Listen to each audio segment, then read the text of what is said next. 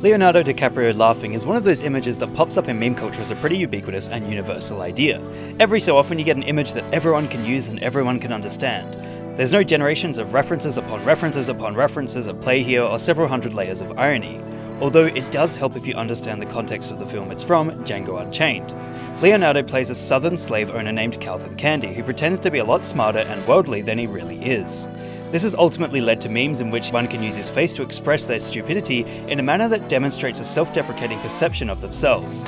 It's a fantastic way to demonstrate one's immaturity or idiocy, but shows a healthy ability to embrace that fact. And that's it, there's not a lot else to it. And to be honest, I've held off talking about this meme for a while due to its simplicity, as I usually like to cover stuff that's a bit more abstract.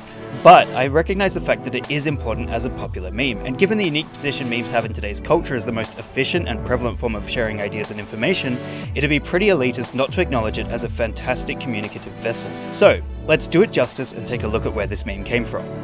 The first time the still frame of him laughing popped up in meme culture on November 7, 2017, as Tumblr user Schwetzengraben used Leo's face as a reaction image to another Tumblr user's proposition that America should adopt French as its national language. The image of Leo laughing here is especially relevant given his character's insistence on being called Monsieur even though he doesn't know any French, meaning Schwetzengraben strategically chose the still frame of Leo from the film and paired it with a Monster Energy drink to really hit home America's classiness.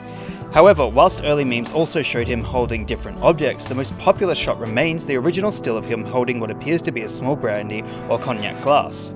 It's also worth briefly mentioning the fact that Leonardo isn't actually laughing in this frame, he's just opening his mouth to take a drink.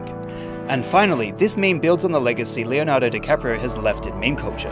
From earlier memes such as Leo strutting from 2010, to the simple fact that pictures of him drinking always do well, he will likely continue to contribute to the fastest growing and evolving form of communication the world has ever seen. What meme would you guys like me to give a lesson in next? Let me know in the comments below. And remember, like and subscribe!